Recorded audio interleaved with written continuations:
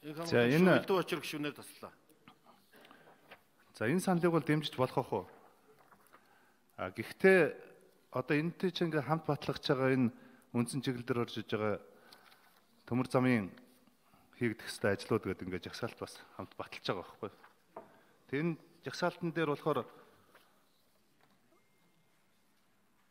нарийн сухад шивээр ингээд сая засгийн газар ингээд татаад авчихсан. Уг нь улсын хурланд хилцэх гээд дэмжигдсэн байсан. Тэгээд эцсийн хилцүүлэг дээр засгийн газрыг би татаад авчихсан гэж ойлгосон.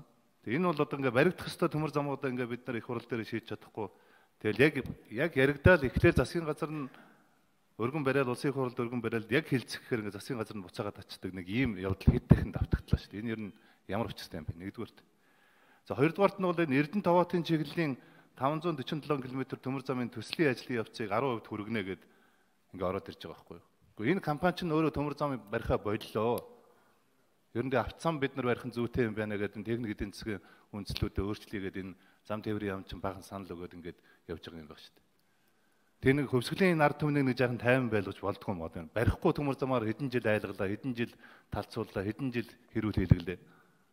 Одоо дахиад ингээд эн чинь бид нар 20 оныхоо үндсэн чиглэл дээр энэ Эрдэнэ таваатын төмөр зам гэдэг ийм асуудал оруулж ирээд түрүүн яг энэ асуудлыг хилцэх хэсгээр манай амьдаа инх хамгаалан сайд байсан.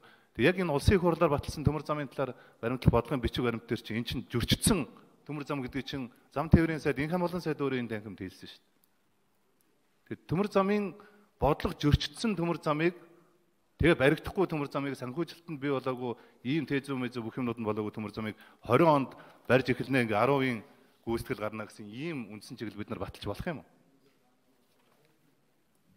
Болохгүй зү энэ. Энэ дээр би одоо хариулт авмаар их юм. Энэ уг засгийн газраас өргөн баригдаг байх юм. Энэ Эрдэнэ Таваат биш зүүн баян хангич. Гэхдээ та энэ биш үү? Эрдэнэ тавд энэ ажлын хэсгийн Содбаатар дарга байгаа шүү дээ. Ажлын хэсгийн дарга. Одоо энэ ажлын хэсгийн дүгнэлт дээр дүгнэлт танилцуулга дээр чи энэ чи явж байгаа шүү дээ.